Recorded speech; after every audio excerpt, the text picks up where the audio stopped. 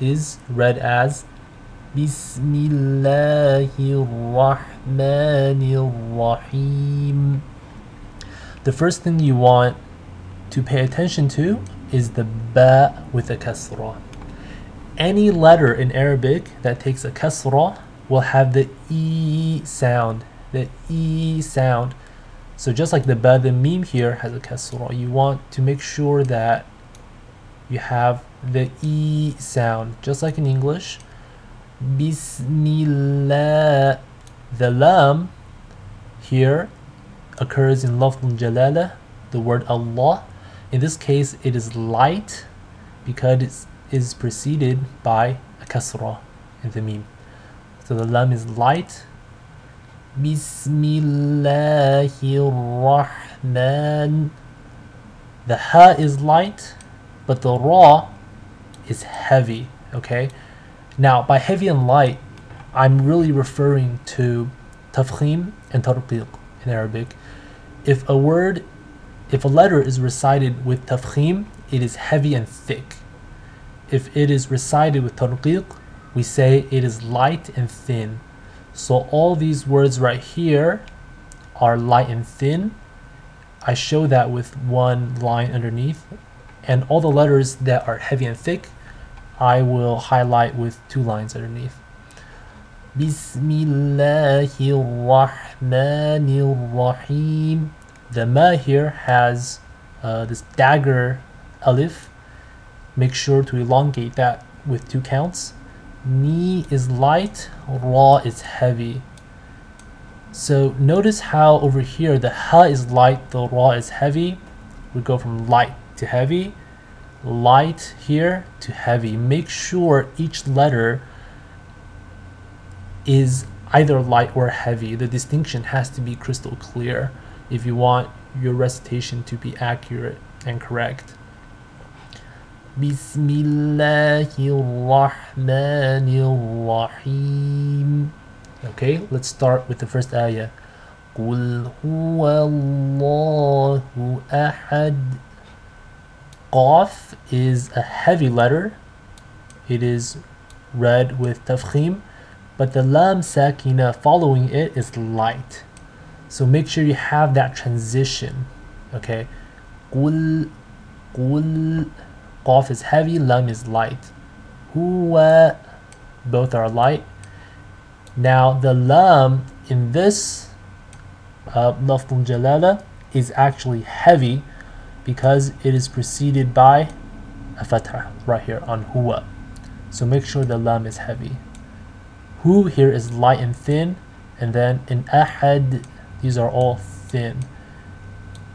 Now one thing I want to point out is this hamza right here is a light letter, but you will hear many individuals making it heavy when they read it. So you will hear ah, ahad, ahad. It's ahad, ahad, nice and thin. The dal here, dal um, takes a sukun because we're stopping at the end of the ayah. It will have an echoing sound, which is called qalqala. So let's read this ayah one time. Um, paying attention to these two heavy letters, but we don't want the thickness and heaviness of the qaf and the lam to spill over um, into nearby letters, that would be incorrect.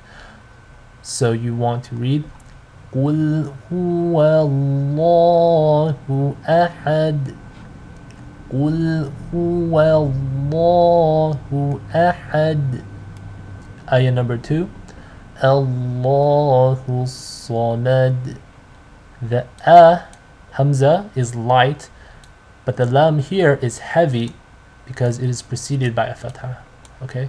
Just like over here so the lam is heavy and the ha is light so we go from light to heavy to light Allahu Samad. Sad is a heavy letter. Lam is light. Dal is light with qalqala. Allahu Samad. Ayah number three. Lam yalid wa lam yulad. Yalid wa lam yulad. the two lam sakinas are both read with uh, shafawi.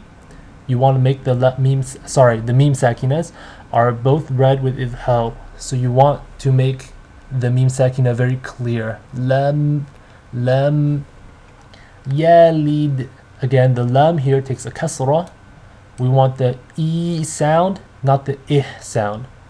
So if you read lam yalid, lam yalid, if you're reading lid, that is incorrect. The correct recitation is yalid. Remember the e sound? Lam yalid wa lam yulad. The waw here is a madd letter for elongation. Make sure you have u um, being twice as long. And the dal has qalqala. Lam yalid wa lam yulad. Two qalqalas actually, one here and one here. And then the last ayah, ayah number four. وَلَمْ يَكُنْ لَهُ كُفُوًا أَحَدٌ the meem sakina is light and it's read with idhar or clarity.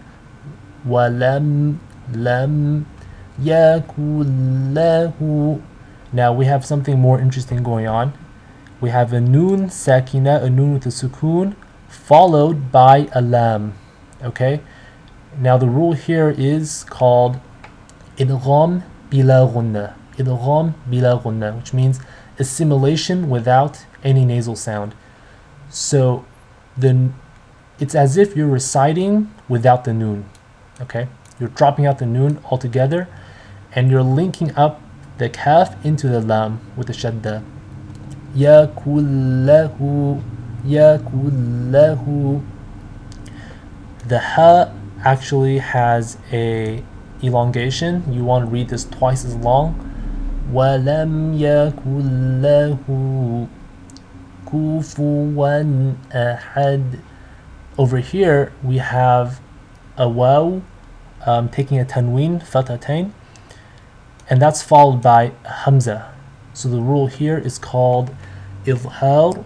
You want to make sure the tanween is read very clearly with the um, with the un sound very clearly without you know assimilating or without any nasal sound kufuwan ahad ahad again the hamza here is light and thin the dal has qalqala ولم يكن له كفوا أحد So let's read the entire surah one time.